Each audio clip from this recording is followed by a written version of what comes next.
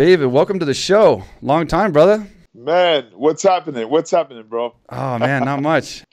Thanks for having me, man. I'm, I'm super happy to be here. Damn, so it's so good to talk to you and see you at the same time. Like, uh, so for those that don't know, we we just met up on uh, an app called Clubhouse, which is kind of the new social media app for for audio, I guess you could call it. And it's you can go in these rooms and chat with people, and there's just a lot of cool, interesting people on there. Um, in all different backgrounds, business and fighting and everything else. And it's growing quite fast. And we, we ended up meeting on there, having a great conversation. And I was like, man, we got to do a podcast. And uh, so here we are, man. And like, I'm excited, dude. So crazy. Yeah. Yeah. Yeah. Yeah. Crazy. It's been, uh, it's been a while we've known each other, man. It's been, it's been almost 20 years, bro. It's, uh, you know, we're fighting, we're fighting on the same circuit. Like we, we fought 16 years ago. We, we fought 15, uh, 14 and a half, technically, September 23rd, 2006. So it was basically 14 and a half years, but pretty much 15 years. And that's, that's when we were actually in the octagon, you elbowing me in my face. Um, but we knew each other before that, obviously. I was watching you fight for, for years, and, and obviously you watched me in my first few UFC fights, and, and that was the yeah. first time we collided. That was the first time I made yeah. it to like the, the, the, the final man before the, the, the title fight. So you were like the the ultimate yeah, test. Man. The ultimate test for me. i i finally got the, the big fight of my career. Great fight, man. Great fight, competitive fight. It was uh it was man, you, you seized the moment, man. You you, you you did the right things. You you applied a, you had a you guys had a great game plan and and I have tremendous respect for for you and your camp, your team. You know, you guys are AKA, you guys uh, are all studs. And um, yeah, man, it was a great experience, man. I'm I'm super grateful for for the journey, for the experience. You know, it's uh, it was fun. It was fun. Your hands, man. I I keep I keep thinking I keep thinking of the my my ego was saying, man, come on, man, I'm fast. They call Mike Swick. I'm a, a quick Swick. I'm like, I'm quick. I'm quick.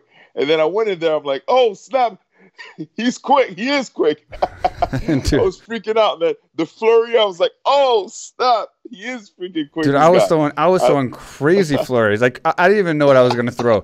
It was like, like usually it was like punches, and it was like I throw like two or three punches, and I land a solid one, right? Because because at that time I was four yeah. Oh 0 in the UFC. I had two quick knockouts and two quick submissions. So uh, if I landed a flurry, it was usually I, la- I went through and I connected and I hurt the person, and then I just unleashed yeah. until they went down.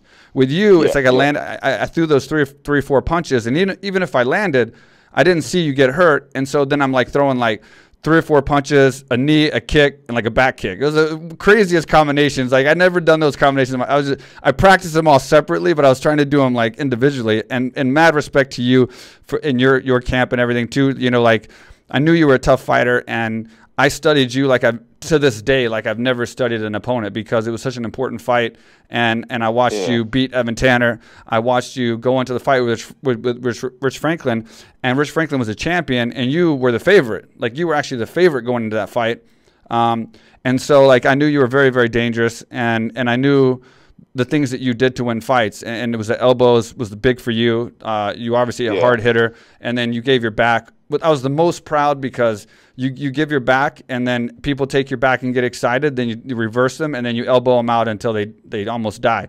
And I was so proud of myself that both times you gave me your back, dude. It was almost like I'd, I'd studied it so much. Both times you gave me your back, yeah. and, you, and you grabbed my arm, and you grabbed my arm so that you could pull me around and I and yeah, I got yeah. myself back up, and I totally just gave up your back. and I was like, no, no, no.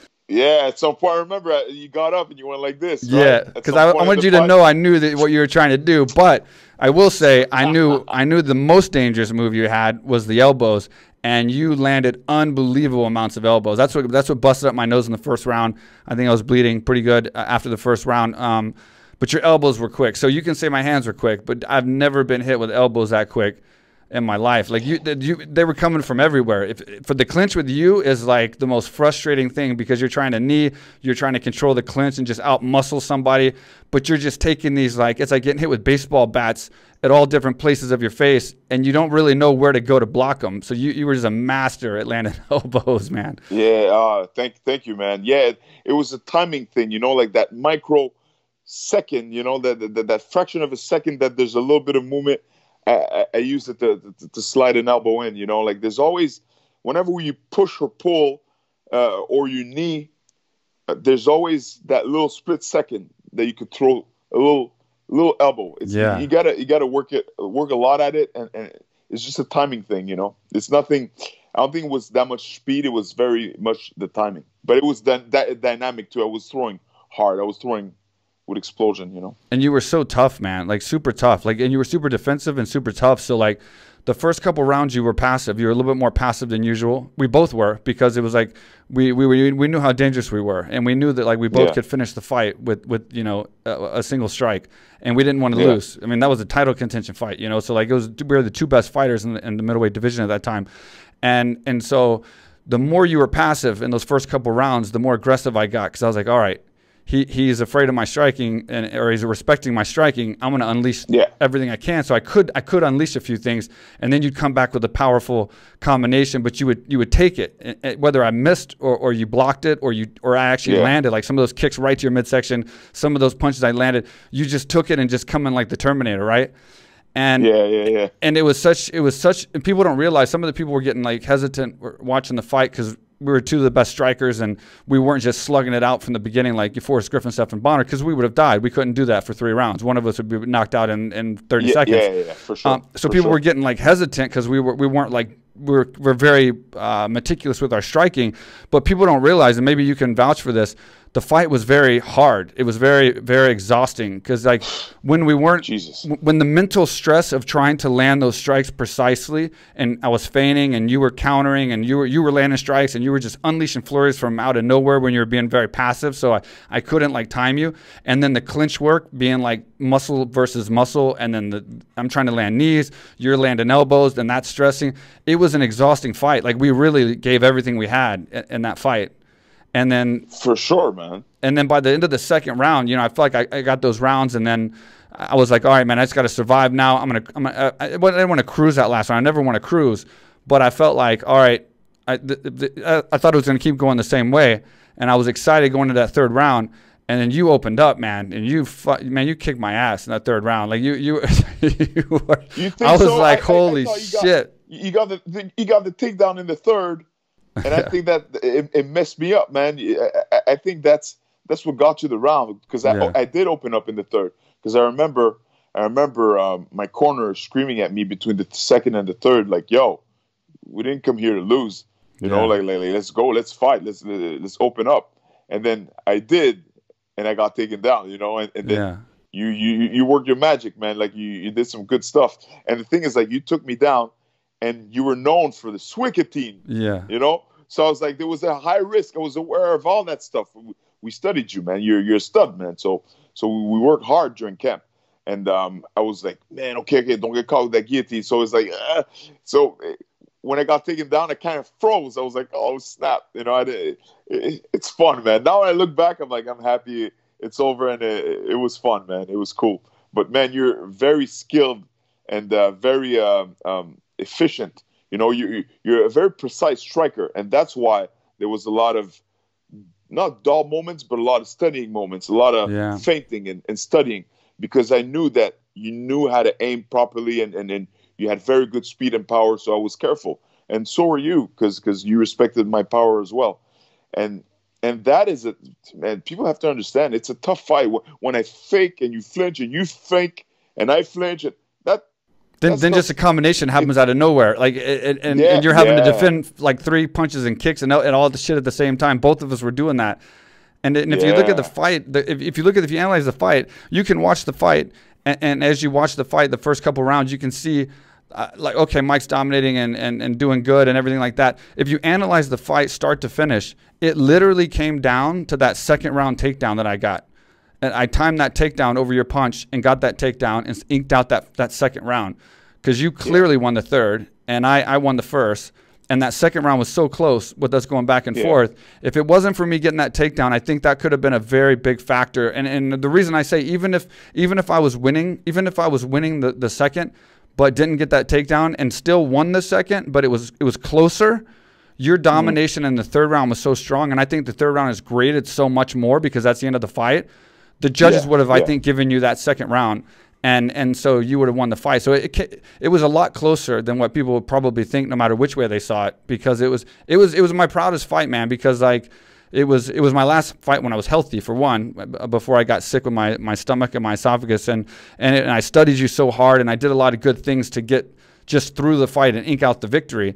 Um, but I respected you so much and knew how good you were, and it was such a, a, a, big challenge and such a fun moment to fight somebody so good. You know, like winning early and fast is fun, and and you know, or fighting a lesser opponent is fun because you have an easy night and you go home. But when you really get in there, if you're a real fighter at heart and you get in there with a real lion, and and then you you realize you taste the blood and like you realize that it's two lions fighting, and then you got you know twenty thousand people watching, and it's it's yeah. the adrenaline. Like it, it, was fun, man. It was a fun fight. I like I just enjoyed it. You know, it was, it was one of the best fights of my career for just for just the the alpha aggressive uh, nature nature of it. You know, like I'm looking across and you got GSP in your corner and Dean Lister, and like a big part of my game plan was taking you down at certain times to win the round because if you busted me up with elbows and you landed those spinning kicks and, and I missed my combinations and couldn't knock you out, it could come down to takedowns. So I was working a lot of takedowns and coming under your punches, which is how I got in.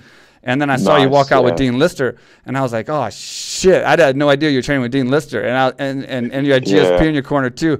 So I was like, "Fuck, man! I, I hope I can get the takedown if I need it, you know." Which I ended up did. I ended up needing it for sure. But it was crazy, man. Anyway, it was, it was so cool, man. It was so cool to have that experience, and I'm glad that you feel the same way that, that we we went out there and had a great fight, you know, and, and it was an exciting fight, and uh, and it was a good time in our careers. You know, I really believe like you, you you stepped it up, man. Like like during that fight, like you were better in our fight than all your previous fights For sure. that I've seen before. Like all your knockouts and stuff, there was it's nice, it's cool, but man, I mean, sometimes I hit you certain ways, and I'm like, yo, this guy never got hit like that before, and he's taking it like a champ. You know, like because I watched all your fights. You know, I just studied, studied, and and and and man, man, it was it was remarkable. Uh, kudos to you, man. Like you did, you did amazing, and and man, you saying that that you know you, you um it was your last your last fight as you were healthy. You said, yeah. Like it's it's uh it's crazy how people don't know what people go through. It's like people see the the five or 25 minutes out there of you fighting, but but they see the end result. They don't see the struggle, the the grind, the ups and downs, the the the the, the problems that people that, that we go through.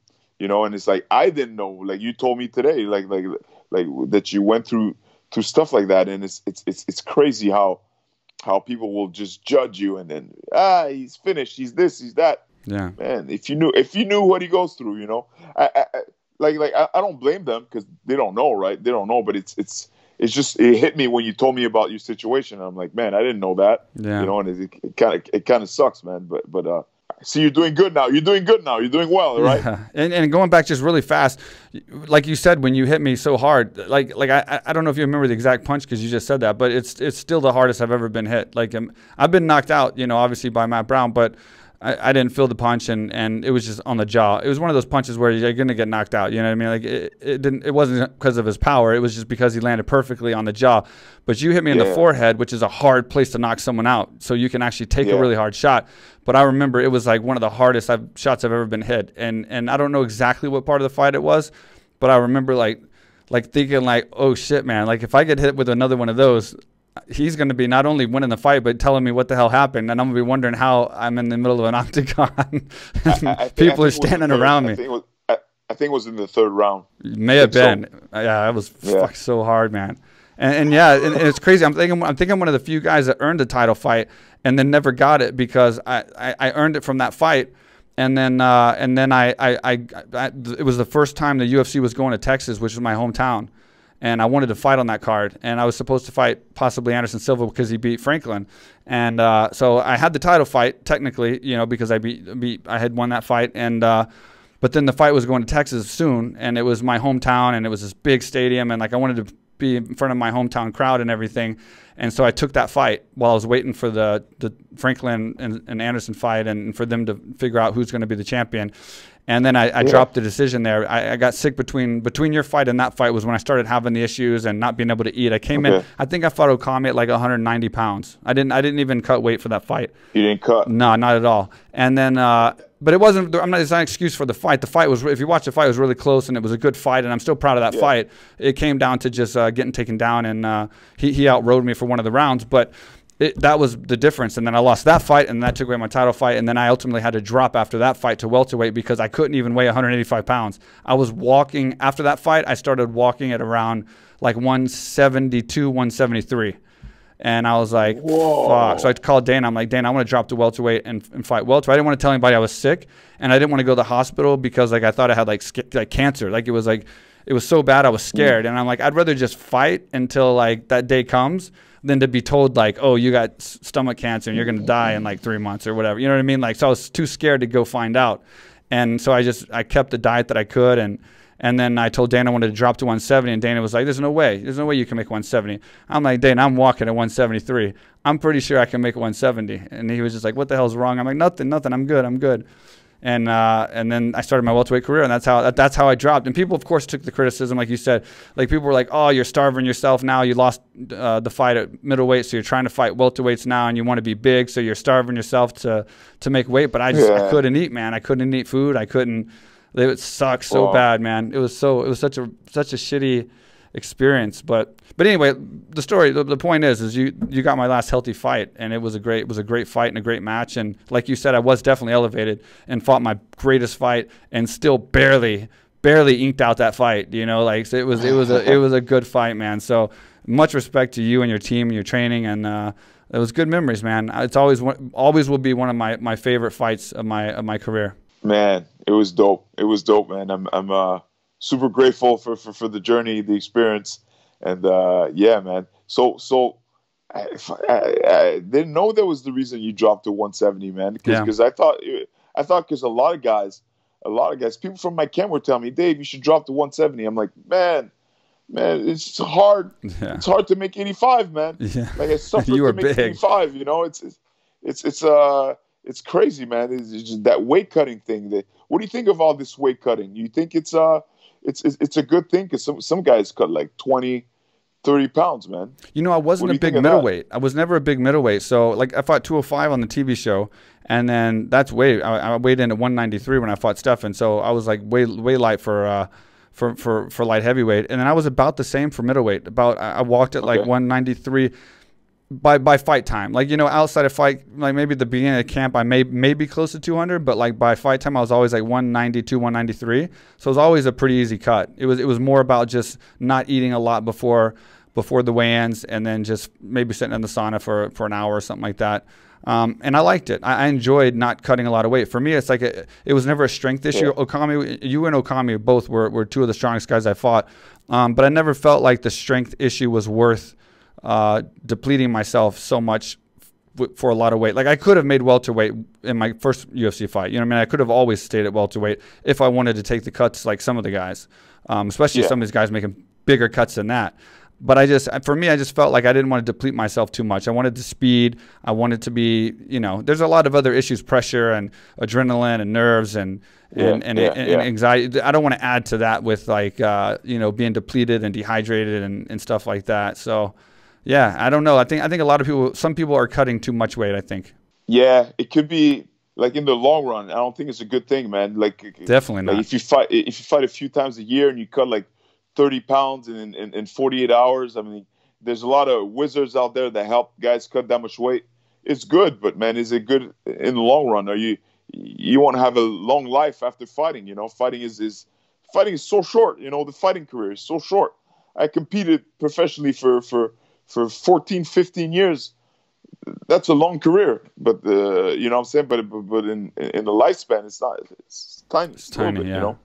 So it's important. It's important to to think longevity. But I totally get it. When you're in that circuit, when you're in that world, nothing else matters but the next fight. Yeah. You know, nothing else matters but becoming the UFC world champion. Yeah. Like nothing. Well, that's how it was to me. Yeah. To me, it was an obsession. Yeah. It was. It was one of the hardest things for me was to, to, to deal with getting cut or losing, uh, get, getting cut from the UFC or losing a UFC fight. To me, it was it was it, was terrifying. It was it was it was terrible. You know, it, yeah. I lived for that. It's the only thing. I woke up. That's all I thought about. You know, and and uh, I trained for that only. You know, uh, it was the same for you. It's the same for for for a lot of guys. Because to get to that level, to compete at that level, you need to be obsessed. You cannot you cannot be like, yeah, you know, uh, I'll fight. it. No, you need to be obsessed and then just do that stuff day in and day out, and and and you have to pay the price. And that's why when you when you don't reach that goal, sometimes it's tough, hard uh, pill to swallow, like they say. You know. Yeah stuff. And I know a lot of guys, you know, I think we're, we're definitely, we've proven ourselves. We're two of the toughest guys out there in our time, you know, definitely 100%. Yeah. But, you know, everybody has anxiety and everybody has fear before a fight. You have fear anytime you have a, a, a chance of losing something that you want. If there's a risk yeah. of losing something you want, you're going to fear losing it or, or whatever. It's not pain. It's not uh, you know uh, hurting or anything like that. It's it's it's it's the, the the the fear of losing it, the fear of letting people down, the fear of whatever. And I know you mentioned sometime you had a, a way to overcome anxiety or or to treat the anxiety that you felt when you fought. What what did you do to kind of uh, battle that that anxiety and the fear? Know, Mike Tyson's talked about how he was scared before a lot of his fights as well and had anxiety. Yeah. What did you do? Because I know there's something that was, was said at some point about you dealing with anxiety and, and, and overcoming it and stuff. What what was it that you did to overcome that anxiety and get out there and, and perform like you did? Well, you know, I, I did consult a lot of uh, sports psychologists, you know, uh, s- mental coaches, gurus. I, I, spent a lot of money on that stuff. You yeah. know, I, I, I, invested on on uh, books. I read a lot of books, and at the end of the day, to be honest, man, it was just accepting anxiety, accepting the fact that you you're scared and you have fear. You know, like like th- that's what worked for me. For me, it was just deep breathing and just accepting what's in front of you. That you're that there's a danger that you're gonna get hurt. There's a danger that you might lose. There's, there's a you, you know you know what I'm saying. Accepting what is, you know, staying in the present moment and just moving forward and just going, going for whatever's in front of you. Go, walk forward and con- conquer. You know, just, just acknowledge it. And because for me, for the longest time, it was just like, oh no, I'm not scared. Oh my god, I can't believe. Oh, why am I anxious? Why? Why? why? When it came to when it came when I started being being very friendly with with fear and anxiety, like yeah, okay, I'm anxious. Yeah, I'm I'm, I'm, I'm shitting in my pants right now. I'm, I I'm not I'm not comfortable in this situation. It's okay though. It's okay. And then just these words, it's it's okay. It's okay. It's gonna be fine. It's okay. And then it just helped me so much. Just talking to myself, self-talk, positive self-talk. You know, just just it's okay. It's okay. Admitting that you're scared, accepting that you're scared, accepting that you're anxious, and just going with it. You know what I'm saying? Because because and, and also I would say myself, yeah, yeah, I feel terrible right now, but I'm still gonna kick his ass. Yeah. You know, I feel terrible right now, man. I'm I'm, I'm shaking. I I feel weak. I don't feel strong, and I'm still gonna whoop his ass. Yeah. You know, I would I would, yeah. I would tell myself little things like that. It's the mind is complex, man. You, you have to play some tricks. You got to play some tricks with your mind sometimes. You know, you gotta you gotta know how to how to play these games. You know, because when the mind plays tricks on you, play tricks on your mind. And That's let, how I see it. And let me ask you, like, just because this this happens to me, since fighting, like, people can never know know what it's like to go out there and walk out to the octagon and fight unless you do it. Like that sense of fear and that sense of what's on the line and the pressure, whatever the case may be, especially you walking out for a title fight, stuff like that those yeah. nerves, that anxiety, you can't ever understand it until you do it. Like you can watch it and think you know, but you can't really know. Have yeah. you found after your career, when, when when when you stop walking out to the octagon and stop fighting and stop feeling that intense amount of pressure? You know, there's highs that people chase that are intense amount of highs, but then there's also intense amount of pressures that we had to deal with. Do do you find yourself chasing any fear after your career? Like for me like I'll chase fear sometimes. Like I'll I'll try to feel alive again and put myself in situations that are dangerous or crazy or or to try to it's almost like I'm trying to get back that feeling again, even though it was such a painful feeling and, and a crazy feeling and anxiety feeling. But a part of me kind of wants that sometimes and I seem to to do things and people are like, What the hell are you doing? That's crazy.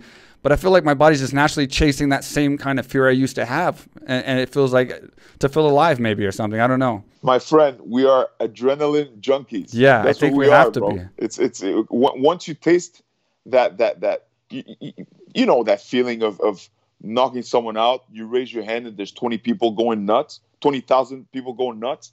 That rush or that walk to the octagon and everybody's like, yeah, let's go, Mike, let's go, David. Uh, that rush, you'll never get it ever again. Yeah. You know what I'm saying? So so so subconsciously, like consciously, you know that you won't, but subconsciously, you're still looking for that rush. You're like, yo, yeah. I haven't felt that that that, that rush in in a few years now. Well, how am I gonna, you know, what I'm saying? So so that's why a lot of fighters, when they retire, they go, they do wrong things. They they, they escape the drugs, they escape the different things. That's why I'm so grateful. Thank God I found teaching. You know, I started I started teaching. Uh, I opened a school, started teaching martial arts, and and and, and such a blessing. You know, I, I, I got into acting. I, I love doing that stuff. You know, like I, I found little things that help me, you know, um, stay stay busy, keep my mind busy. Keep, you, you, you have to stay busy because after fighting, after a fighting career, like a real fighting career, not not a few fights. You know, I'm talking about a real career like we had. It's not easy to just to just stay um, um, stay focused and do the right thing and not go and do stupid things. You know, right. it's, it's, it's not it's not easy if you don't find your niche, your passion, your love. Yeah, I mean, I got certified in skydiving. I was like jumping out of planes and shit, and like and dude, it's crazy because like I, I had many many jumps and like you know the ner- the, you don't really get nervous till you get to the DZ and then once you start getting ready to get on the plane, then you walk to the plane, you get on the plane, the door opens from the plane, and you bail out. And then once you're out, it's, a, you're like past the point of no return, so the fear ends and and then picks up again a little bit before you pull your chute to make sure that there's no malfunction. But the fear even from jumping out of a plane, which I'm, I'm like literally dying. Like when you jump out of a plane, you're you're your your destiny is death. You have to save your own life before you hit the ground. Like that's that's that seems hardcore, right? Like you jump out of a plane and like if you don't save your life, if you don't do if you just don't do anything, you're going to die 100%. You have to take the actions by pulling your chute and and doing what you have to do to save your life and then land properly. And and so it's like even as as crazy and hardcore as that sounds, that still to me wasn't as, as anxiety and nerve wracking as, as the day where I wake up for a fight in preparation for the fight, get into the arena, walking out for the fight, and right before the fight starts as crazy as that sounds. And there was, there was, there's obviously you think less risk of death and, and all that kind of stuff, but it shows you it's a different kind of fear, and, and and it still was worse for fighting than it was for jumping out of planes. For sure, but you know why? It, it is ego based. Yeah, ego I think that's fear. what it is. You know what I'm saying? And you're letting other people down. I, I, yeah, of course. I didn't fear you. You didn't fear me. You're like, fuck this. It wasn't guy, the pain. Know? Yeah. But but I, I didn't fear you, but I feared the result the yeah. embarrassment, right? The, the, the the losing the fight in front of everybody, letting my people down, and and and all that stuff. You know what I'm saying? Like we're we're uh, it was a pay per view event. It, it, was you know a, a, a contender fight. You yeah. know what I'm saying? It was something big, but it's it's all ego based. Yeah, man. you're right. It's all ego. That's that's why we're so nervous and so we think we overthink. We have anxiety. Imagine if I didn't care about winning. I don't think I'd be I'd, I'd, I'd be anxious, and I don't yeah. think I'd have a successful career either. No. I don't think I would have made it to the UFC, you know, if I didn't care. And and that's why it's a gift and a curse. You know, sometimes it, it helps you, and sometimes it, it, it messes you up.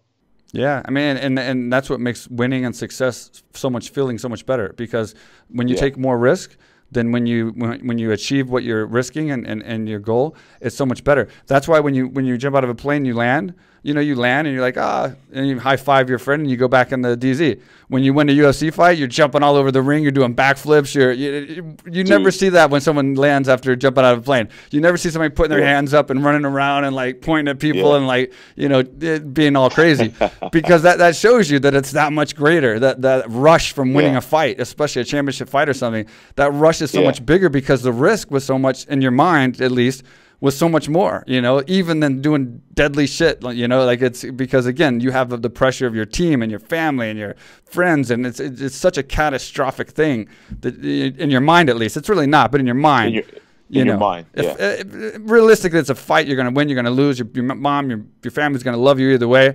But in your mind, it's like at the end of the world, you know, if you lose a fight. Worse than dying, I guess. yeah, oh, for sure, for sure. It's it's yeah, like I said, it's, it's ego based because I, I, mean sometimes you know they they call us warriors, and I'm like, yo, man, we're not in Iraq. You know, we're we're in we're in a controlled environment here. Yeah, yeah. There's a cage, there's a referee, there's rules, there's no weapons. So I mean, it's it's it's yes, it's it's the toughest sport, but it's like it's not it's not you know like real soldiers that go go to war. Right. They're the warriors. You know, like we're we're we're entertainers at the end of the day. I believe. Oh, I was going to ask you, do you use the best below the waist grooming products on the market? I'm not talking to you, David. I'm talking to you guys. Because if you don't, and you want to use the best below the waist grooming products on the market and save 20% and get free shipping, I'm going to help you.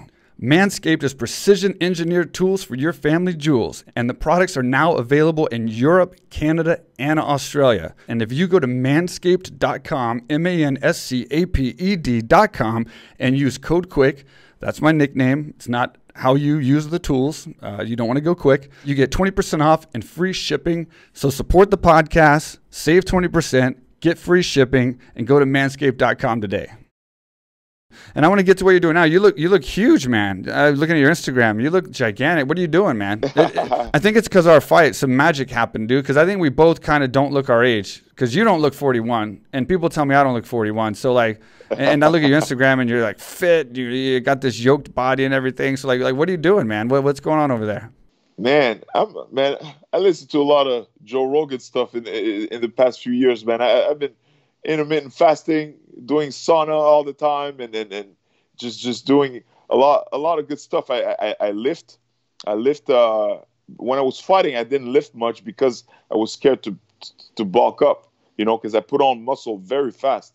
So when I fought, I was doing a lot of body weight stuff. You know, I lifted a little bit. Now I lift almost every day, yeah. and it's uh yeah, I just lift a lot, eat well, and and uh eat a lot better now than when I was fighting. Believe yeah. it or not, yeah. I eat a lot better now because I'm just more. It's awareness, right? Like I'm aware. I'm just more mature. I just know. I just know what's what the consequences are of eating healthy and not eating healthy. You know, it's it's it's a it's a matter. It's it's wisdom as you get older. You know, so yeah, just eat eat well and train train every day, man. Even right now, there's a lockdown in in, uh, in Montreal, Canada, and and I just train every day. I'm I'm I'm home. I train and uh, and I eat clean. But yeah, that's what I'm doing these days, man. It's it's slow here in Thailand as well, and so I'm doing the same. I it's almost like we're we're, we're it's almost like we're the same, man. Like I do the same thing, and and like it's so nice because I'm healthy now. You know, like my body's healthy. So people see a picture of me now and they're like, "Man, you look different than when you were a UFC fighter." You know, like you've gotten so much bigger, but it's it's just health wise, you know. And the cool thing is for me is being so skinny for so long in my welterweight career. I, like if you look at pictures, I look like sick, like because I was. You know, it's not like a skinny like you're trying to cut weight. It's like mm-hmm. I was mm-hmm. like deathly skinny even mm-hmm. during the fight. You know, like it looks so you see my mm-hmm. bones and stuff. And I got so like insecure because all the fans and the media was always like on me, like you know, like that I'm I, I, look sick and I'm skinny and I, I got this I got cancer and I got this thing and I got that thing and I should eat and all that. So it feels good to now be healthy and then like you said be able to lift and work out for my health and for my looks as, and for the aesthetics of just being yeah. strong and and look normal yeah. and look big versus like having to train seven hours a day or six hours a day or whatever and and train yourself to where you can't get big you know you can't get like yeah you know the, the size i always wanted to be and and have the strength that i always wanted to have because i was just doing too much athletic athletic and cardiovascular stuff, you know. So it's it's same for me, man. Just eating healthy, training every day, and and and training the way I kind of want to train, you know, to be stronger and bigger and for people not to say I'm skinny. yeah, man. Yeah, man. Do you, man? Just just exactly what, what, do what feels right because you, you know, to be honest, when when I was training for fights, like when we were training for fights, it was there was so much skill to work on, so many skills you have to work on your boxing skills, Muay Thai skills, Jiu-Jitsu skills, wrestling skills. Yeah. Like like it's skills, skills, skills. You have to train, train, train. You know, you, you can't focus that much on weight training, on lifting.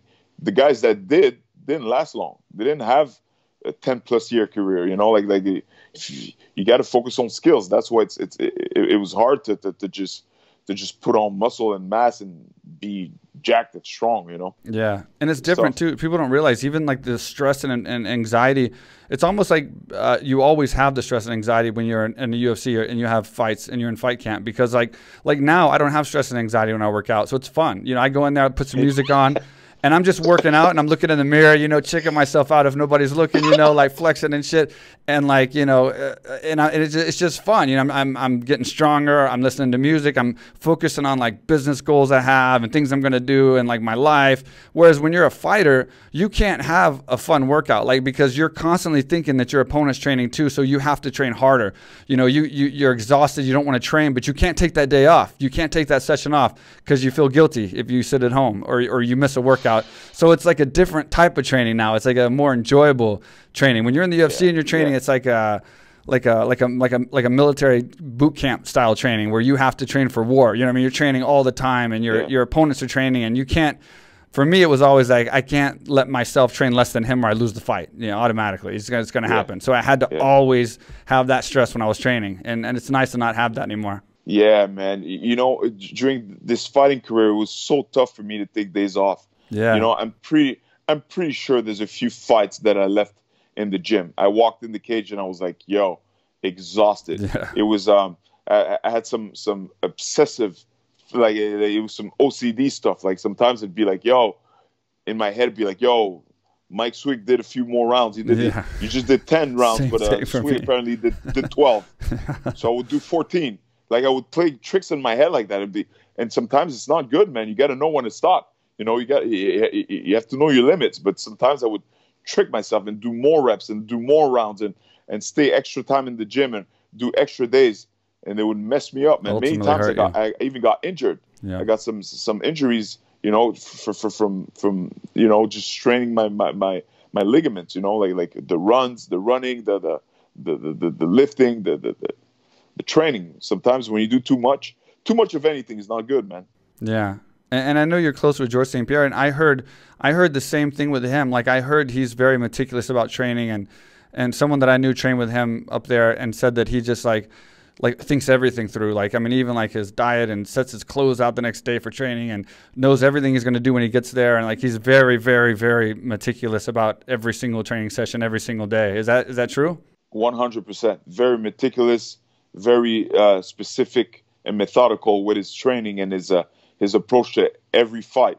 Every fight is like uh, it doesn't matter who the opponent is. It's it's it's he's the best of the best in the world, and we we have to find a way to beat him at every every aspect of the game. You know, like he's he's, he's man. I admire him so much because he's he's um he's very um the difference between George and a lot of fighters, including myself, is that George will very early had no problem working on his weaknesses, being comfortable, being uncomfortable. He was like at a very early age, a very stage, very early stage in his career. Like like when he first started, he was when he first started, he was a karate guy. Good kicks, decent hands. Jiu-jitsu was so-so. Wrestling was non-existent not very good. He started boxing with boxers. He went to the wrestling club, wrestled with wrestlers, like high level wrestlers, national champs. You know, like like train with them hard. Start training, uh, you know, jiu-jitsu in Montreal with a few guys. You know, he trained trained uh, with Kristof Midoux, his mentor. Then he trained he trained with uh, Fabio Holanda, Brazilian top team in, in Montreal, and then eventually he went to to Renzo Gracie in uh, in New York. You know, like he he he went with the best grapplers. He went with the best boxers in Montreal, best wrestlers in Montreal. I mean, he always went outside of his comfort zone and trained with the best all the time, like all the time on a regular basis, and and that's what made him. Like like there's not one trainer or one guy that made GSP. GSP made himself Yeah. by putting himself in the uncomfortable situations day after day after day. You know. Yeah, considering considering you didn't know I got sick, and then I obviously dropped to welterweight, and then won enough fights to get back to title contention. I fought Dan Hardy uh, to fight for GSP, so I was I was in another title contention fight to fight GSP.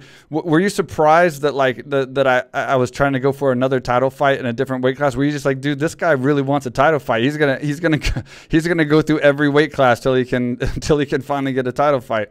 I was not surprised. I mean, that's what fighters do. Like, like, guys, if if you make it to the UFC, man, you want that belt, man. Because when you have that belt, even if you lose it the next day, you're forever the UFC world champion. So, so it's like it's it's uh it's it's it's something that you always chase until you're not in the UFC anymore, uh, until you retire. Because because because I mean, it's it's you always have that dream, that opportunity to, to, to get that title. So. I was not surprised at all when I saw you dropped, and I'm like, yeah, he's probably gonna go for the for the welterweight belt, you know, and and, and you know, fights are fights. You never know what can happen, bro. You, you never know, you never know. I mean, George lost to Serra, right? To Yeah. Matt Serra. I mean, it's it's a Right after we fought, I think that was the very next fight after we fought. No, no, no, no, no. Yeah. He, no, he fought Matt Hughes, he fought Matt Hughes. and he won. He beat Matt Hughes and become the champion again. And then I think he lost to Serra the next one. No, no, no, no, no. After we fought, Oh no, he lost to Serra, and then we fought. Or no, no, no, no. We fought. We fought, and the same night he challenged Matt Hughes in the in the cage. that's right. He said, "I'm not impressed by your performance." That's that was right. the night we fought, me and you. And then after that, he he, he fought he fought Matt Hughes, Yeah. and he won the belt. Yeah, and then I fought the night that he lost to Serra, and that and that was that Oh, was yeah? that, that was the night that I fought Yushin Okami and lost the decision to fight uh, that I was going to fight to Anderson. Oh wow! And it was so Okay, crazy because okay. you talk about that loss and that pressure. Um, I wasn't happy that George St. Pierre lost. I'm a huge fan of George St. Pierre, but I'll tell you, I've said this before in the podcast, but it, obviously you're closer to the situation.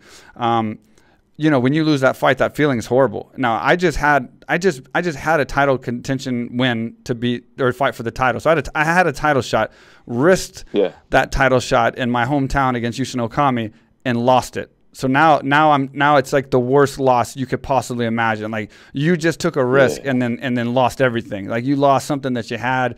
You lost your title. Like you had you got a title Yeah. shot. You, you fought for a title. I, I never have. So like I lost Mm. that opportunity. So I was like walking back to the hotel and I was so depressed. It was my hometown. Everybody I knew was there, and so I'm thinking like everybody's thinking about me, and like I, I let everyone down, and like it was the most traumatic experience for me, like walking back to the hotel, and then the place went crazy. Like the place went crazy. I couldn't believe they were just in shock. Everyone's crazy, and they said George Yeah. St. Pierre just got knocked out by Matt Serra, and and now that Matt Serra was such a huge underdog in that fight. And I and like I said, I've always rooted for uh, for uh, George St. Pierre and always been a big fan of his. But in that moment, in that moment that he lost that fight, oh my God, the pressure got lifted off my shoulders like you wouldn't believe. Because I knew everybody was focused on George St. Pierre Yeah. and not focused Yeah. on me anymore. And if the greatest in the world just got knocked out, you know, one of the greatest fighters in the world just got knocked out by an underdog, at least it showed the world, hey. Shit happens, you know, and it made me feel better about losing. Like, hey, you know, anything can happen. So, it, I, Yeah. I know it's crazy to say, but that, that moment made it a little bit better for me to like be able to sleep maybe three days later. I don't know when I slept, but Yeah. but it was crazy, and, and that was a crazy fight. I mean, it was it was so unexpected, you know, in those flurries, and oh, it's crazy, man. Yeah, one punch could change everything, man. This Everything. is this, that's what happened, you know. George got caught with that one punch and lost balance, and then then then Serra took it from there. But it's it's it's a fight game, man. We've man, you, you saw what happened. Like so many things happened uh, when Anderson Silva got got clipped by by Chris Weidman, and then Yeah, there's so many examples that that we have. It's a fight game. Those four ounce gloves, man, you, you never know what can happen in, with these four ounce gloves. You know, it's a it's, it's it's it's a fight. It's a fight, and especially at that level. At that level, man, anybody could beat anybody. You you could go right now, get into a training camp, and fight the welterweight champ. I don't know who the uh, we- and you never know what can happen, right? You, Yeah. you can fight the middleweight champ. You never know what can happen. It's a punch. It's a Yeah. punch, you know. So that's and that's what people need to understand. You never know. You never know. I have my chances against you. You have your chances against me. I have my chances against any champion. yeah, You never know. What if what if that night he's he's he's off and I'm on, and I land that punch? yep, He maybe maybe uh, maybe uh, you know uh, nine times out of ten he beats me, but that one time I got it. Yeah, and You that's know, why and that's why know, we're right? so damn nervous before a fight because we we could have done we could have trained better, we could have been more prepared, we could have been in better shape, and we could have been the better fighter, and we could have still lost, and that's the scariest thing. Yep. In boxing, it's like when you walk out and you really feel like you're the better trained fighter and the better boxer. Like I think you know pretty well you're going to win the fight. I mean, most of the time the better boxer wins. Most- it's, it's not so Yeah. much that you see an upset in boxing, um, but in Yeah. MMA with all the different variation or variables and, and variations of moves and techniques, it's a hell of a lot easier to lose in, in, MMA. Yeah. You know, there's Yeah. one Yeah. strike, one cut, one whatever. That's that's right. That's why I respect so much these fighters that have like you know like like your boy Khabib and all these guys. Yeah. You know George and and, and they have long winning streaks in MMA. It's not easy to have a a, a- a 10 fight winning streak like Kamaru Usman, Yeah. stud world, world champion, uh, welterweight. It's not easy to have a I don't know how many fights in a row. It's it's it's it's, crazy. tough, man. Yeah. It's tough. yeah. Because the thing is, is like you never, people don't understand. They always expect you going 100%, you know, and they don't understand that you're normal people like everyone else. So everyone else has problems in their life, and we do too. You know, sometimes we have injuries, sometimes we have problems with our, our maybe our wife, or, or we're going through a divorce, or we just lost a loved one, or all these things I've had in my career. Um, you know, you, or, or or you've had depression about something, or you know maybe any any little thing could happen, and you have to take that and go out there and still fight. And if you lose, you just, you got to shut up and not say anything because if you say something, it's an excuse. So it's like when you yeah. see these guys, like yeah. you said, that have these 10 fight, 11 fight, 12 fight win streaks, like Anderson's and and some of these guys. It's a lot of respect to those guys, like the Khabibs because they've they've had to have went out there with problems and injuries and, problems. and, and detrimental yeah. stress, like Khabib in his last fight with Gaethje. They, um, I mean, it was unbelievable. He trained five days for that fight. He had mumps. He had a broken toe. Um, all of his all of his training partners got uh, corona and he couldn't he couldn't train with them or, or they couldn't train or whatever. Like he he literally trained hard. I think like five days for that fight, and then went out there and wow. then and had one of the fights of his life and, and beat one yeah. of the most violent guys in, the, in his division on the feet and, and, was was winning on the feet and the ground. And it's like you look yeah. at guys like that and you're just like, wow, man, that's that's crazy, you know. Like it, you, yeah. and through all your wins, the problems we didn't know about that you've probably taken in there and still won, and, and it makes people don't realize that. But these guys on these streaks, man, it's mm-hmm. it's tough mm-hmm. to do. It's super tough to do. Yeah, for sure, for sure, man. But you know, also uh, one thing about us in in our era, it was um, we're figuring things out. You know, right. a lot of a lot of people have to understand that we're figuring things out. Now the guys have the, they have the blueprint. We have them. The guys of today, they have the blueprint. They know what to do. But back then, man, a lot of times uh, you, the one kickboxing coach will be like, "Yeah, you should do a lot more kickboxing." The the the, the jiu-jitsu guy, more jiu-jitsu. This that you know what I'm saying. So uh, it, it, it was we had us the fighters had to to make the formula, make the find a formula that worked for us. You know what I'm saying? And and and it was it was it was not easy, man, no. to find the right thing, the right formula. That's a great. That's a great point. If you watch the show Kingdom on, uh, uh, there's a TV show called Kingdom, and it's it's it's just a raw look at MMA, and it's but it's like accurate. Like it's that's our era. Our era was like you know, three people staying in a hotel room and the bathtub floods while you're sleeping, and you, you know, you, the, the, the, coaches are arguing and backstage before you walk out uh, who's going to be the, the main corner and who's going to do this and changing your game plan. Like, like you're right, like it was, a, we didn't. There was so many problems in our era because it wasn't like a cookie cutter formula like they have now. And yeah. of course, there's, yeah. there's variations now and people are different, but we were i mean it was like some crazy stories from our time like i look back at the stories of some of the other fighters and things that happened at hotels and outside the hotels and f- during fight week and it's like holy shit it was crazy man it was like the wild west compared to now yeah yeah now it's structured man now Very we know structured. what works what doesn't work and there are no secrets but back then it was like ah these guys do a lot of this. Now we know everything, everything, about everybody. Yeah, like we there's there's no more secrets. Everybody does seminars. Everything's on YouTube. This that. It's it's so easy to get footage on on any fighter to study. Back then, I remember my first few fights before the UFC. Man, it was it was the VHS days. You know, like I was we were trying to find VHS tapes of our opponents. Man, it was the hardest thing in the world to find tapes on guys. You know, it was crazy. Now. And then even before that, I, st- I started. I turned pro in '98, and I had 21 MMA fights amateur before I turned pro. So by by the time I turned pro at 1998, which was got I mean with 20 23 years ago.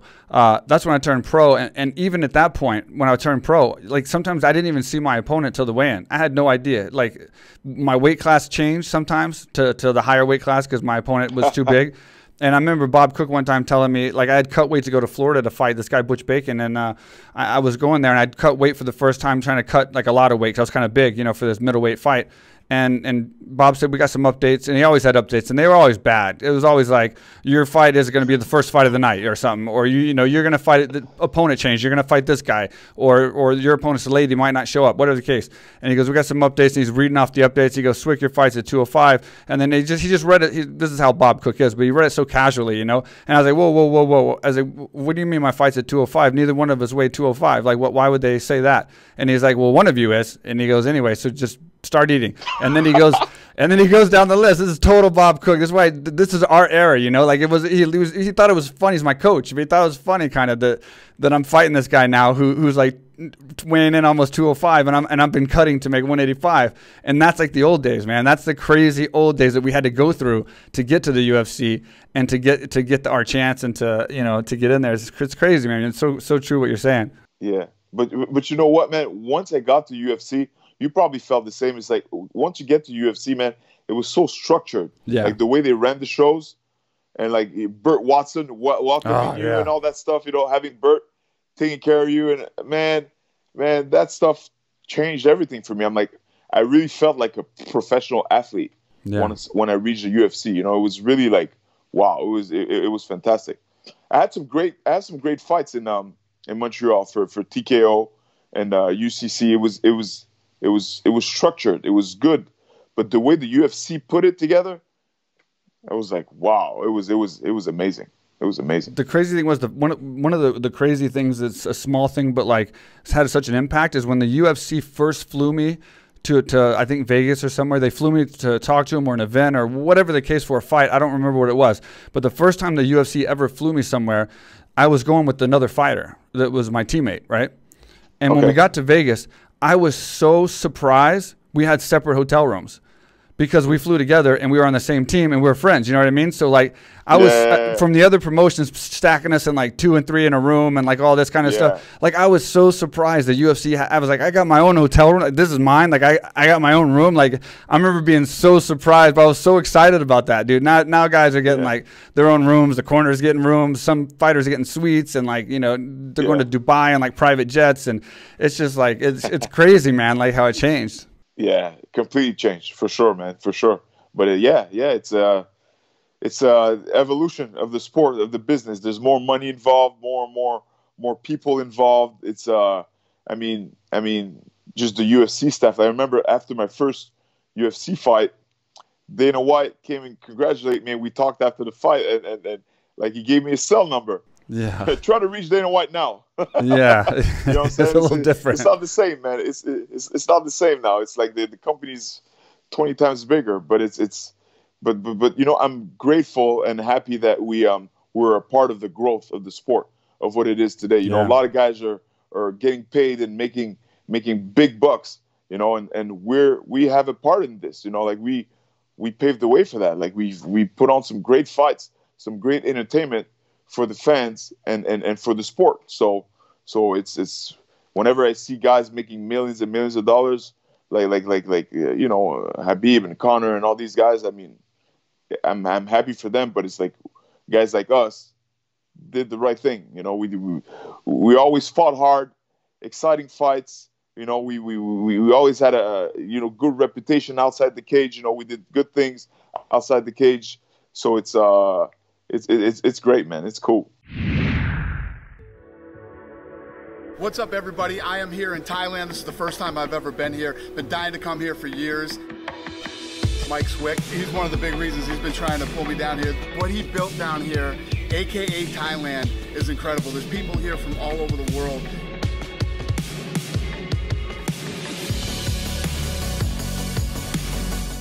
Can train mixed martial arts here, jiu-jitsu. They have weightlifting, they have cardio, and obviously they have Muay Thai, boxing, everything.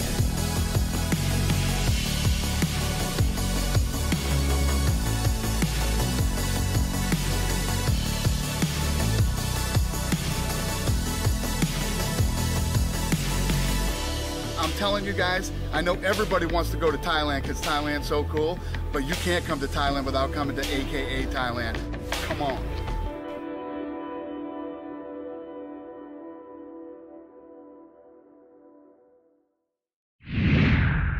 Let me ask you just because going on that real fast, with all things considered, because we got a lot of publicity when we fought uh, because there wasn't so many fighters. So when we fought, we became bigger stars faster because there wasn't so many fighters, and we moved up kind of fast. Uh, you know, now there's guys three, four, five, and zero oh in the UFC, and you still don't know who they are because they, they haven't had a big fight.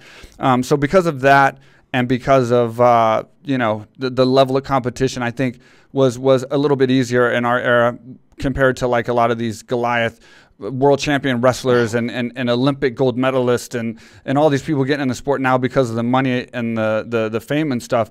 Do, would you have rather fought in our division? Are you happy that you fought in our in our era and, and that we had the career we had and, and, and did it at that time, or would you have rather traded that and fought now in this in this era and tried to work your way up and, and be a star and get a championship belt? Let me tell you something, man. You know, you, you, you it's a good question, but remember that spinning back kick I did on Charles McCarthy? Yeah, I do. I so do. spinning back kick, UFC 50, 50, I think it was 52 or something like that. Crowd goes berserk, and that was after Tough, so it was at Atlantic City.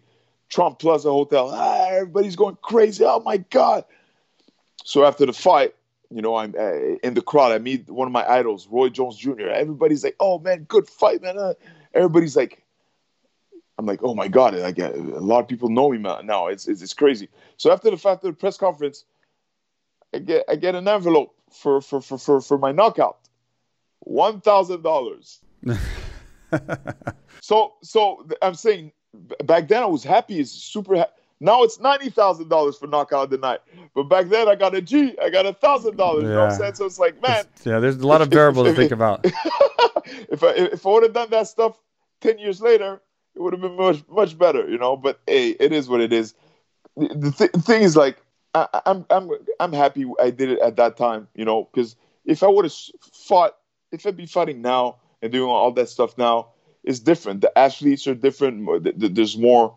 There's more on the table. There's more training. There's more more training avail- available. There's there's there's there's uh there's a lot more stuff that's available to the fighters.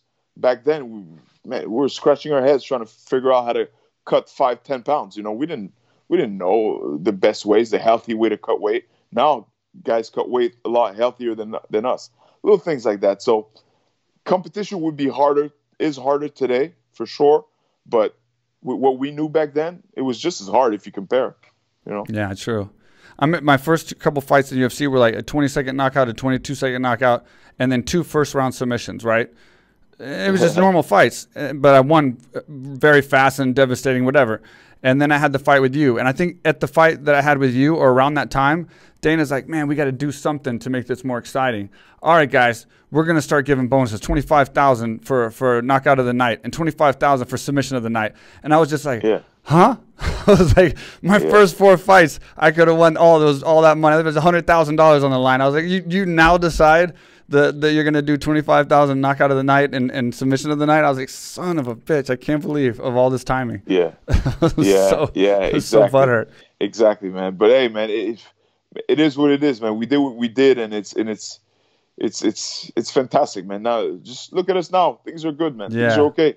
You know what I'm saying? It's like it's it's a we can sit back and enjoy. it. You know, you know till till maybe last year I would get emails and DMs from random promoters asking me, "Yeah, would you like to take this fight?" And, man, it was retiring for me was the hardest thing to do, man. It took me. I haven't fought in in, in five six years. It took me at least four years to re- to make peace with my retirement, yeah. to make to accept the fact that I'm not going to fight again, and I'm not I'm not going to f- compete in front of uh, in front of people and, and, and have my hand raised, and you know what I'm saying, like like that rush that we were talking about earlier. It's it's it's not easy, especially yeah. when you when it's it's everything to you. You know what I'm saying? For the longest time, fighting and competing, my adult life was all about fighting. It was you know, I, I turned pro at 20 years old. So my adult life, you know, and, and I fought till I was 35. So my adult life was my only source of income was fighting, was competing, F- competing or sponsors. That's it. That's all I did. And and and to turn to the next chapter, it was one of the toughest things for me to do, man. To to, to look in the mirror and, and, and uh, you're not you're not a pro fighter anymore. It's it's like I was at some point, I was like, "Who am I if I'm not a fighter?" You know, I had to dig deep and try to. That's that's that's when I started teaching. That's where I started, you know, do different things. You know, experiment and and and, and here I am today. I'm grateful. I'm happy. But man, it was a tough. It was a tough period. Like three, four years. I was I was unsure of what was next. You know. What about you, man? But it's pretty damn cool nowadays, as big as the UFC is, to be like, yeah, I did that. I was a number one contender. I did that shit. You know what I mean? Exactly. That's pretty fucking cool to say. And and and, and for yeah. me, like you just asked for me, you know, the crazy thing is, four years after my last fight, and now I fought my last fight still like past retirement. I retired like two or three times. I don't know, but like I I fought my last fight still uh, late and and like post retirement. Technically, I did it to promote the gym, but because I missed it so much, I really wanted to fight again. And four years after that fight it was still in my head so much and my business was going good and like I was so I was I was doing so good outside of fighting that I didn't have to fight and I didn't you know there was no reason but I just it was in my mind so much to just take one more and fight once more one more time whatever I went to get LASIK surgery and I had two choices to get LASIK surgery and one choice was that they were going to do something that I can actually still fight like it wasn't uh, it wasn't. I forgot. There's two choices. I forgot what the other one was, but it was a way that they do it, and they don't detach the retina or something, and like it's a longer heal time, but you can still possibly fight because it heals your eye. And then the other way, you can't fight. Like they, they cut your retina on both sides or whatever, and they said if you do this, you can never get hit in the eye or, or fight because it'll yeah. detach your retina, and you won't pass your medical exams, and you can't. I chose that way because I wanted to not be able to fight again, and then I could get out of my head that I can't fight again. And then, and then the wow. second I got the surgery and I knew that I couldn't pass the eye exam to be able to fight again, it was out of my head. And then I, I knew I couldn't do it anyway. And that's kind of how I got over not, not thinking about it so much because I didn't want to keep tormenting my brain about possibly going back and fighting again. Uh, so it's so I know exactly what you feel like, man. I had to make myself not be able to fight again, almost due to injury. Wow, yeah. wow, crazy, right, bro? I, I, I commend you for that. Much respect. Wow, yeah, crazy. He's like, "Are you sure? Because you're a fighter, you're not going to ever fight again." I'm like, "You know what? I'm not sure, but just do it, and then I'll be sure after that." I was like, "I'll have no, I'll have no choice, so just do it, man, wow. and hurry up, hurry up before I change my mind." You never got tempted to fight in Thailand? I did fight in Thailand for years before, like just little small little Muay Thai scrimmage matches and, and stuff like that. Okay, but you did, some matches. Okay, that's cool. yeah. That's cool. like when I was younger, because I was I was fighting. I've been training in Thailand since I was like 19. So like I was always coming back and forth to Thailand, and, and, oh. and I, I, oh. started my camps in Thailand, and I would train for a month or two, then go back, and then I'd do because you know they didn't they didn't train MMA, they didn't teach you MMA stances and all that. So I'd have yeah, to learn all yeah. the elbows and techniques and kicks and all that stuff, and then I would have to come back and then get my get all the, the stuff that I can't use out of my head and, and move into yeah, MMA, grapple, you know, do the things I need for MMA. So I've, I've been training in Thailand for 20 years, basically over 20 years. And so wow. that's why I wanted to so build this. familiar this with gym. the culture and all that stuff, huh? Oh yeah. Yeah. Yeah. Yeah. I mean, I built, I built my company, my business here. I live here full time in Phuket on an island in Southern Thailand. So I, I yeah, it's, it's, it's, it's, uh, it's a good life for post fight for me, man. But, but, but for you, I got into fighting because I watched the movie The Karate Kid, and I heard that you it was the same. Is that true? You were. it was Bloodsport. It was Bloodsport. Oh, it was similar yeah. then. So you were inspired by yeah. a movie, and that's what you got. Is that what initially got you as a kid to, to decide to do martial arts? I want to do martial arts to be honest because I want to I want to make movies. I want I want to be I want to learn how to do the splits. Yeah, like like Van Damme and Georges St-Pierre, and, and, and, just do do do what he did like on, on the screen. I want to be I want to be uh, an actor, you know, and and and then I st- uh, during during my uh, trainings when I was younger, I was doing so good in sparring. They sent me to a competition, you know, and then at the competition, I just lost and and and I was devastated. And then then I became obsessed with competing. Uh, we talk about like nine, ten years old, and then from there, I just never looked back. I just wanted to fight and fight and fight and compete and compete, you know. But but at first, when I first started, I wanted to make movies, man. I didn't want to fight nobody. I wanted, I, I, that was the same. I wanted to end my career with movies. I wanted to like get get trained enough to the, and make a name or something to where I could like be like Chuck Norris or something, where I could like do action films and stuff because I made some kind of name for myself in fighting. But I never. I started getting into business and I just got over over passionate and crazy about that, and so I just yeah. it took over, whatever. So what? How, how did it go for you after fighting, and and what are you doing now? Like like what are you what are you doing? Are you still training people, and are you doing some more movies coming up or anything or? I, I, have a I have a gym. I have a it's called the Crow Training Center. Yep, you had you that. um, in Montreal, you know, it, has been going on for five years, but you know, COVID hit hit us yeah. la- last year, so we we shut down for a few months, and now then we reopened this last summer, and then shut down again in November because of because of COVID. So so it's kind of slow. Um, so I've been I've been I've been writing for a long time. You know, I've been writing scripts and and, oh, and, nice. and stories and stuff like that. And and uh, I wrote a two short films. I did I produced two short films for uh, a potential Creed three. You know, and um, and uh, yeah, it, it's making a lot of noise, man. I released them uh, in the past few months, and one of them has 1.1 million views on wow. YouTube. The other one has 800,000, and uh, it's getting good reviews and stuff. So so so I'm, I'm having fun with that. You know, it's uh, a good friend of mine. His name is uh, Patrick Barbeau, and he's uh, he he directed a few uh, independent films as well. And then I told him about my idea, and, and, and he's like, "Hey, let's let's make a short film, man." I'm like, "Really? You think it's a good idea?" He's like, "Yeah, yeah, yeah. The story is amazing." So so we we did that, and and we experimented, man. I didn't know it was gonna it was gonna it was gonna be that popular, but man, it's getting millions of views, and it's it's it's fantastic, man. It's it's it's great. Congrats, man. That's awesome. Uh, thank you, thank you, man. I mean, I don't know what's gonna happen with it, but it's it's. I'm just grateful that it's uh, you know, because uh, I practice a lot. Like I have an acting coach and all that stuff, so I practice, yeah. I practice, and uh, I'm uh, I'm glad it's it's it's paying off. You know. That's awesome, man. I'm gonna stay up and follow you. I'm, already, I'm already following you, but I'm gonna stay up to all your uh, your updates and stuff. It'd be awesome to see you uh, do some films and, and go to the theater yeah. and see you. And thank you, and, thank you, man. Yeah, I'll, I'll, send you the links to my films, man. I'll yeah. send you. Uh, I'll send you the stuff, man. I got to ask you a couple more things real fast though. But what do you think about the yeah. state of the, the middleweight division now? Like considering how it was when we were coming up, what do you think about the middleweight division now and Izzy and and and the top contenders, Whittaker and Costa and it's what a stacked division.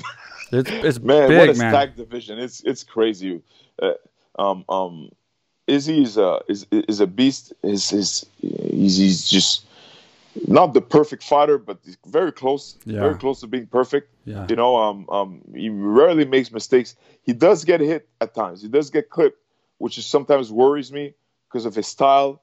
You know, sometimes he does get clipped, but I mean, it's it's it's a it's a fight game. You're gonna get hit, but um, but, but that's the type of style that he this the style he has is a style that is good when you're young and fresh, but when you age, that style plays against you. There's the Roy Jones style. There's the Anderson yeah. Silva style. You know what I'm saying? When you when you get older and your reflexes slow down, yeah, this is when this is it's no good. Absolutely. It's no good.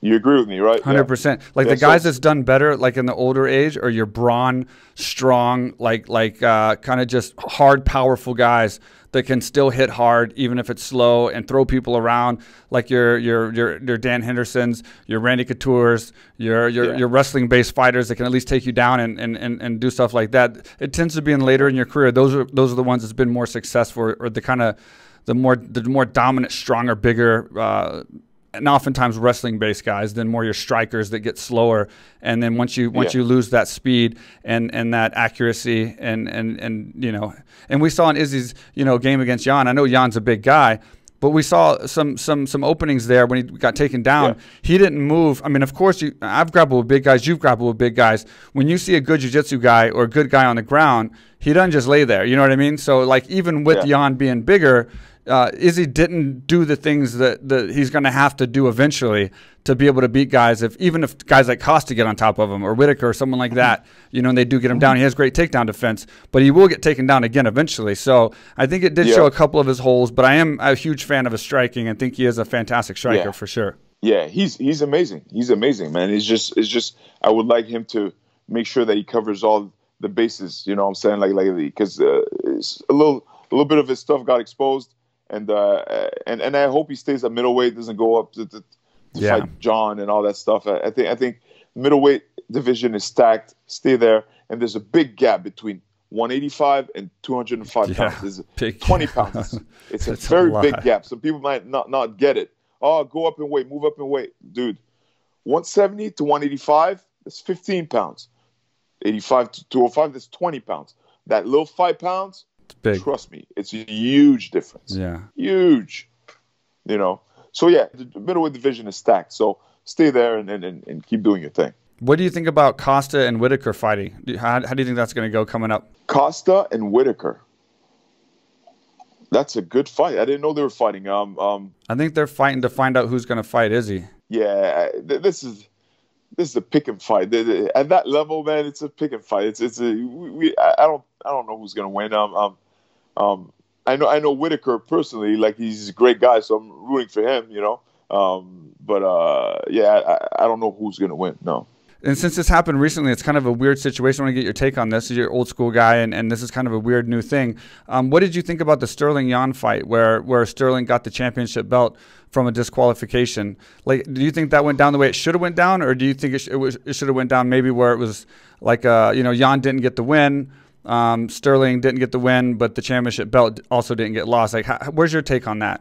Um, I think you should like at that point it should have went to the scorecard yeah. or something like that, you know? I think in the fourth round they can't do that or something, but I think you're right. I mean, I think that's the fair way. Yeah, I think the fair way would have been uh, to the scorecard, but not just directly giving the belt yeah. because one is one is uh, disqualified. I, I, mean, it it is it's the rules. The rules are the rules, right? It's it's uh if you're disqualified, you, the other guy gets the belt. I understand, but they should change that. I think they should change that. They should go to the scorecards, or just make it a like like like, like you know, like a no contest. Make it a no contest, you know, or, or I don't know. But but the belt, giving the belt to the other guy from that, I don't know. I don't yeah. know. It's it's I don't know how I would feel with yeah. the belt around my waist. You know, the guy knee me in the face. I'm on the floor laying down, and they give me the belt, and I walk around the champion of the world. I'm like, damn. Yeah. You know, it, can't feel good about it. Yeah, yeah, it's bittersweet, man. I don't know. I don't know. I don't yeah. Know. Have you have you ever? Because I mean, obviously your your Muay Thai is great and your elbows and everything. Have you ever been to Thailand? I mean, have you ever came over here or no? No, bro. Do you plan no, to? Do you ever want to come? When I come to Thailand, I go to AKA Thailand to see my man Mike Swick. That's it. You got an open invitation, man. I'm you, you know I, am saying it loud right now. I'm not going. No, I'm going to AKA that's where I'm going when I go to Thailand. Forget it. That's awesome, man. You open invitation, man. It'd be so awesome to train with you. And then, uh, and then there's so much to do here, man. I'll take you to the islands. I'll take you to all the cool places. And so, hopefully, you get a chance uh, in between your, your movie career after you finish one of these blockbuster films or or, or do something else. You get a nice break and you get to come to Thailand, man. Just hit me up. I want to see that that film. I saw on your Instagram talking about the Creed, uh, and I saw the yeah. pictures and stuff. Uh, send me the link to that film. I want to watch it, the, the short film and stuff. Yeah. So send me all that. Okay, cool. We'll do, bro. We'll do, man. And and let's let's stay in touch, man. I, re- I really want to see you again, man. I want you to come to Thailand and, and see the gym and, and see what I got going on over here and and uh, show you a good time. Absolutely, bro. Man, thank you for having me on your on your podcast, man. It was it was great, man. You're the man, bro. Thank I you wish so you much. all the best you and uh, your, your family, man, all the best, bro. Thank you. You too, brother. And much respect. Right. And it's been an honor to, to, to have a career at the same time you had and an honor to fight you and, and be a part of my history and a part of my career. And, uh, and it's, it's great to catch up again. So, so thanks so much for coming on the show. Oh, man. Thank you, my man. Thank you. All right. Take care, brother. All right. You too, my man. Peace.